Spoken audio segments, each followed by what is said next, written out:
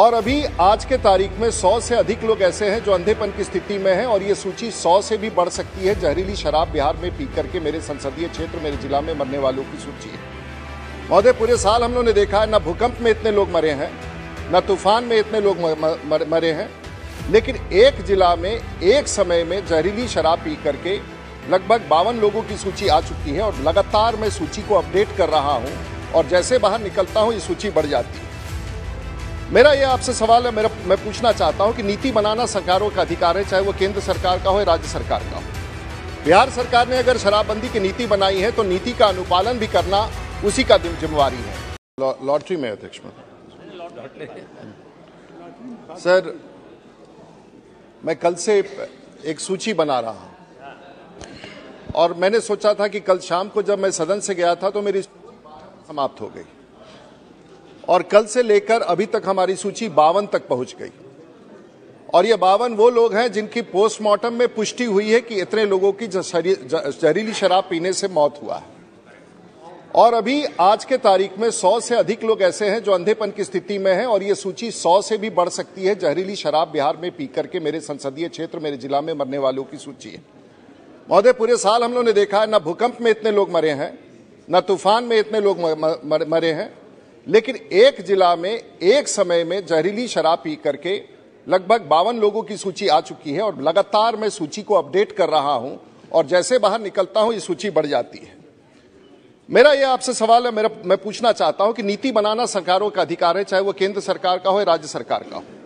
बिहार सरकार ने अगर शराबबंदी की नीति बनाई है तो नीति का अनुपालन भी करना उसी का जिम्मेवारी है। और नीति का अनुपालन नहीं होता है और लोग इस जहरीली शराब से मरते हैं तो उसका भी दायित्व उसी राज्य सरकार का है जो अपने आप उस नीति का अनुपालन नहीं करती है। पूरा का पूरा दायित्व इन गरीब लोगों के मरने वालों की जो सूची हमारे पास है, उसका दायित्व है। महोदय, ये जो सूची हमारे पास है, इस सूची समाप्त नहीं हुई है।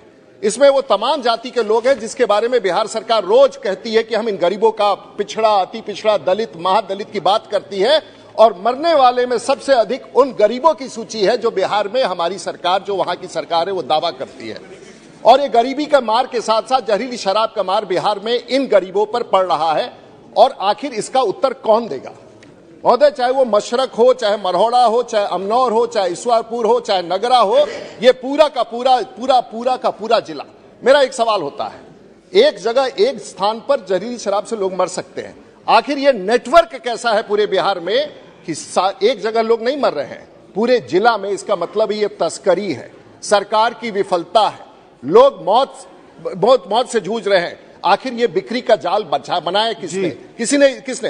राजनीति छोड़िए महोदय। संवेदना तो होता है राजनीति में। कोई ना कोई तो उत्तर देगा कि इन गरीबों के मौत का जिम्मेवार कौन है। मैं सरकार से मांग करता हूँ कि सरकार सर बिहार की स्थिति बहुत खराब है। और ये स्थिति इतनी खराब है अगर इस सदन को संवेदना न जगे सौ लोग मर जाए पूरे दुनिया में आज के तारीख में सौ लोग संवेदना न जगे सौ लोग मर जाए पूरे दुनिया में आज के तारीख में सौ लोग इस प्रकार से नहीं मर जाते हैं।